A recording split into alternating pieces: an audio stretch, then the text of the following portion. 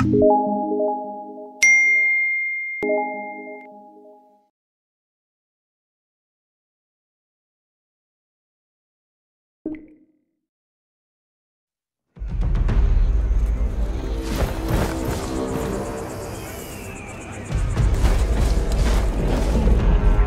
a world where everybody matters,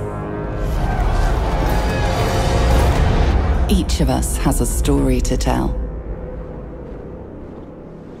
I started at the bottom. I worked hard to rise above it. Born restless, I was a loner.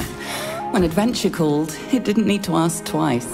With my own two hands, I forged a good life for myself. I roamed far, from the forest to the cities.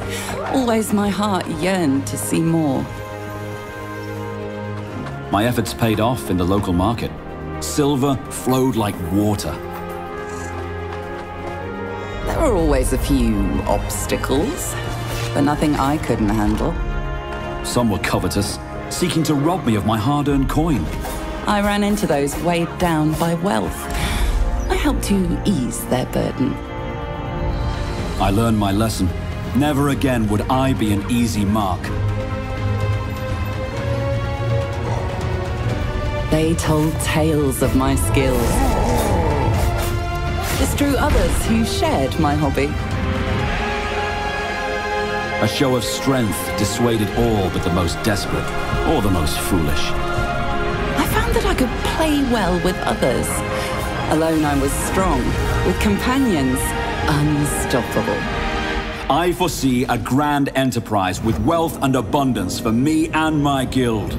I found my place, side by side with my comrades, blades in hand. For! For glory!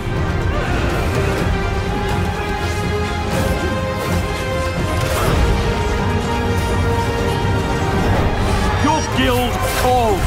Let fair fortune guide your hammers. Onward, my friends! Let's give the bards something to sing about!